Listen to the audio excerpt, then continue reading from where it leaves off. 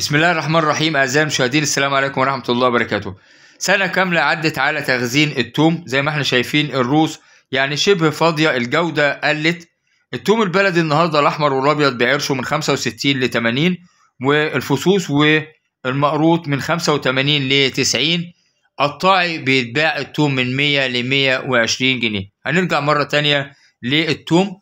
النهاردة البطاطس البيضة من 9 ل 9 ونص برم بني سويف والمنيا والجبلي من 10 ل 10 ونص.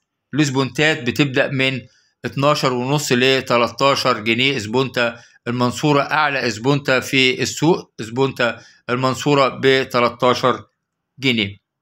الحلقة معظم الحديث فيها على التوم والبصل والبطاطس والطماطم. البطاطس قلنا أسعارها من 9 ل 9 ونص البطاطس البيضة الجبلي من 10 ل 10 ونص. والسبونتات من 12 ل 13 البصل من 10 ل 14 الأبيض والابيض والأحمر القديم من 27 ل 30 جنيه. البسلة بعد ما قعدت أسبوع تقريبا أسعارها منخفضت رجعت ارتفعت ل 24 و27 الخيار من 6 ل 8 خيار الصوب اللي قدامنا ده قلت لحضراتكم خيار الصوب هو اللي بيستحمل أكتر في السوق وفي السفر وعندنا في البيت أسعاره من 6 ل 8 والجودة العالية فيه من 9 ل 10 جنيه. الجزر الشكاره ال 16 كيلو ب 60 جنيه ال 20 كيلو بتوصل 80 و 100 جنيه السبانخ ب 10 جنيه القلقاس ب 21 جنيه في قلقاس مقروض برضو متنضف وفيه بعرشه كرومب العشر وحدات ب 120 و 130 يعني الواحدة ب 12 و 13 جنيه الليمون النهاردة من 15 ل 16 جنيه والبتنجان الأبيض والبتنجان المخدد من 10 ل 12 جنيه. البتنجان المخدد اللي قدامنا ده ب 12 جنيه. البتنجان الرومي أسعاره مرتفعة من 8 ل 10 جنيه. بتنجان الرومي الصوب بتنجان النظيف ب 10 جنيه. ده فلفل جوديون. أكبر شوية من التوب وأكبر من البنات. طبعا يعني فلفل الرومي بتاع الحشو بيبقى أصغر من كده وبرده ده أقل من الألوان. النهارده الفلفل الرومي من 9 ل 12 جنيه والألوان ب 35 والجوديون بيبقى برضو حلو يعني طعمه حلو مسكر وأسعاره بتتراوح من 7 ل 8 والألوان الأبيض الأصفر والأحمر زي ما إحنا شايفين ب 35 جنيه. هنرجع زي ما قلت لحضراتكم مرة تانية للبطاطس والبصل والثوم و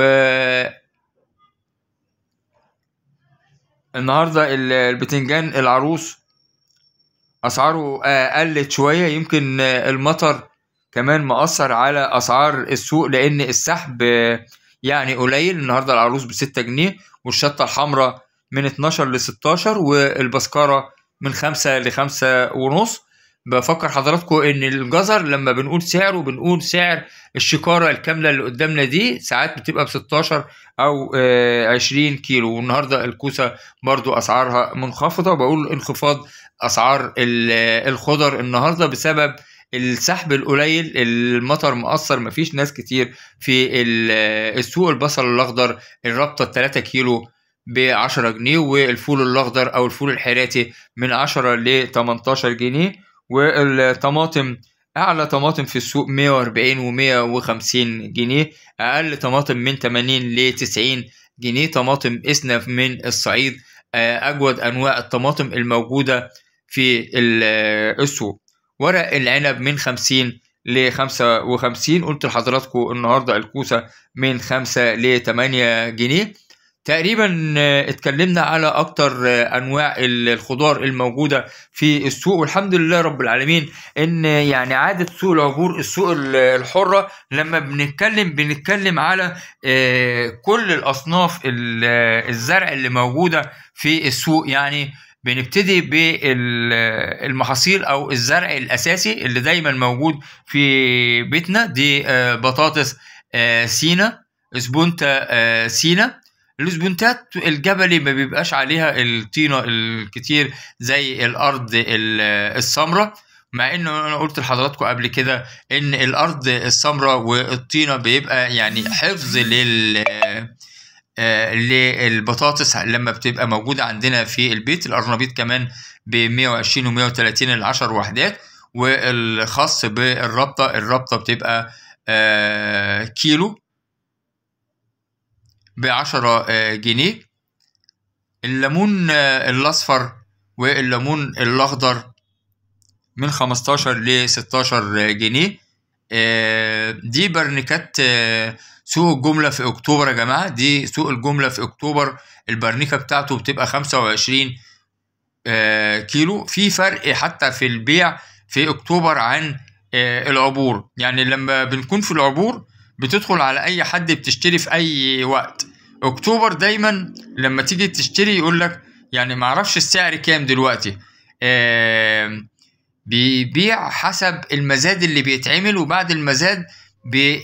والمزاد على طول بيبقى شغال كل ساعتين ثلاثة بدور المحلات. لكن العبور بيبقى فيه مزاد صبح ومزاد بالليل وبيطلع عليه والأسعار.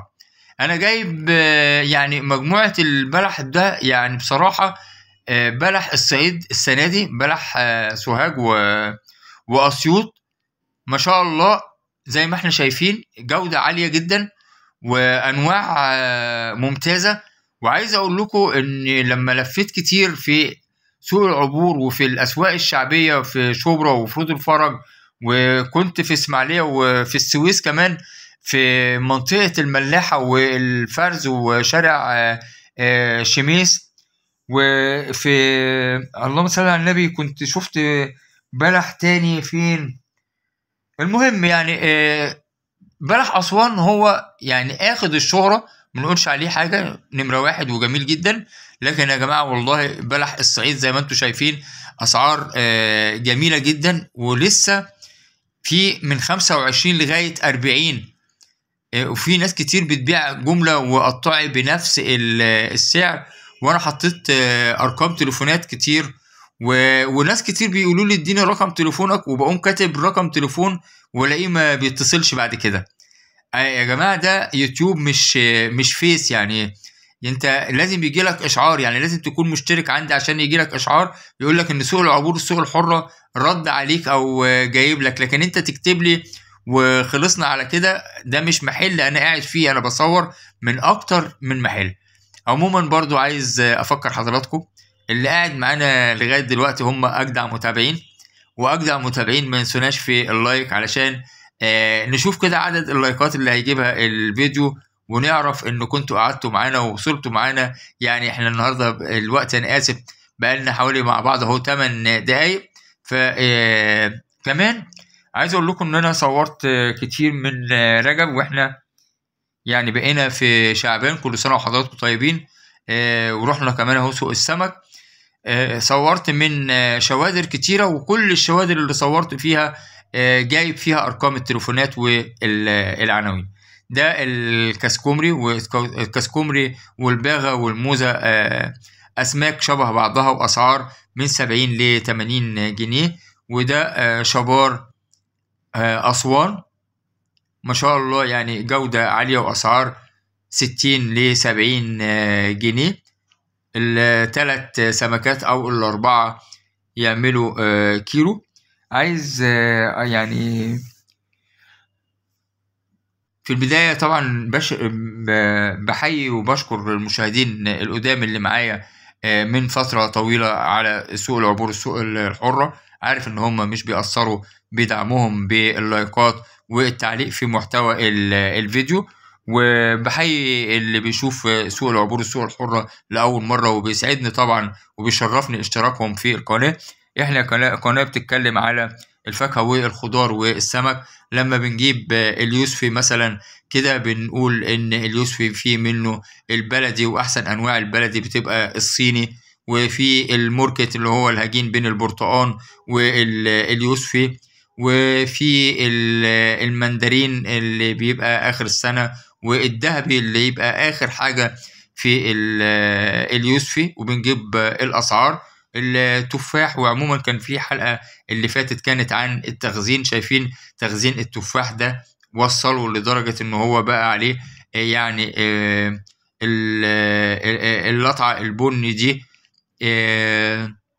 الحلقة اللي فاتت اتكلمت على تخزين الفاكهة بشكل عام بيبقى محتاج إن هو يعني يتغطى أو بعيد عن الرطوبة وعن الميه أعزائي المشاهدين إلى هنا بتنتهي حلقة اليوم. شكرا وإلى اللقاء. والسلام عليكم ورحمة الله وبركاته.